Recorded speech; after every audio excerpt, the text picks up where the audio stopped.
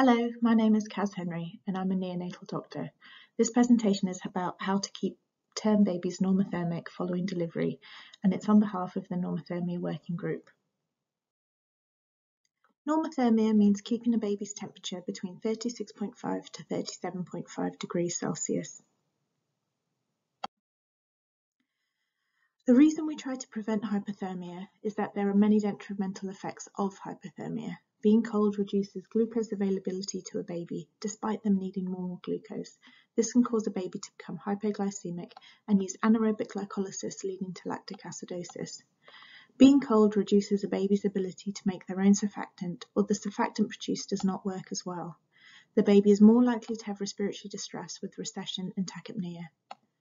Hypothermia uh, causes a baby to require more oxygen, but at the same time, there can be narrowing of the pulmonary vessels, which leads to a baby having low oxygen saturations and needing oxygen. Babies who are hypothermic are more likely to have bleeding tendencies.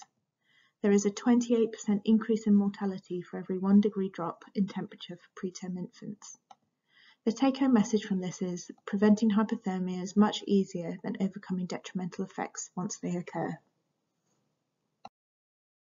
Infants are so vulnerable to hypothermia because they have a larger surface area to mass ratio and can lose heat easily, up to four times quicker than adults. They have weak muscle tone and do not shiver, and they're unable to vasoconstrict their peripheries to keep the heat central. Babies lose heat in a number of ways as well. Conduction is when you lose heat through physical contact with another surface or body.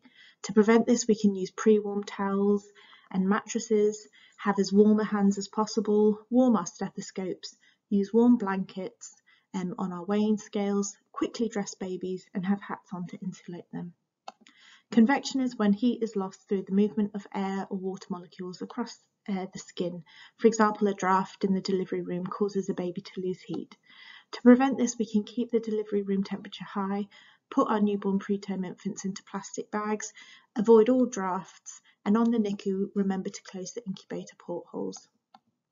Evaporation is when heat is lost through the conversion of water to gas. This can be combated by having a warm environmental temperature, drying the infant, removing any damp linen, and during resuscitation using heated humidified gases. A newborn baby emits heat energy in the form of infrared electromagnetic waves. Radiation is the loss of heat from the baby to another object without contact, for example the loss of heat to a cold window.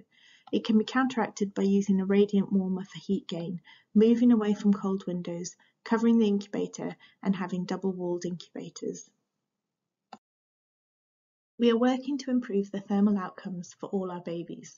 We aim to keep their temperature between 36.5 to 37.5 degrees Celsius after delivery, on labour suite and on the postnatal wards.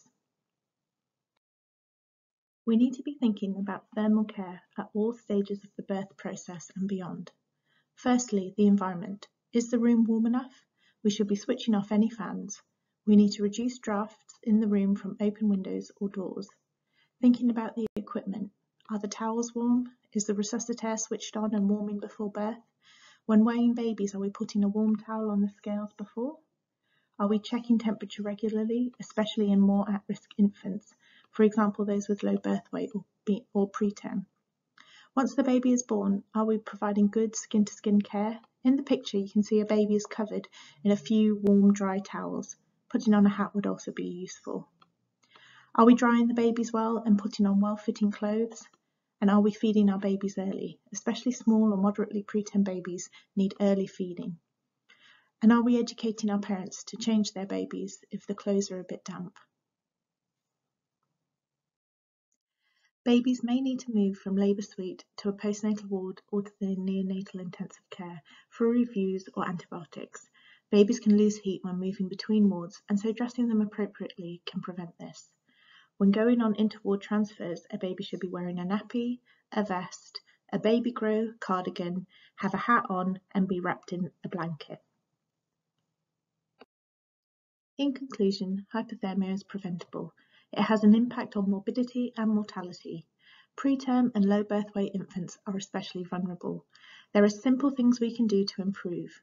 we should be thinking of optimizing the baby's temperature at all stages of the delivery and ongoing care. Prevention is much easier than overcoming the detrimental effects of hypothermia once they occur. Thank you very much.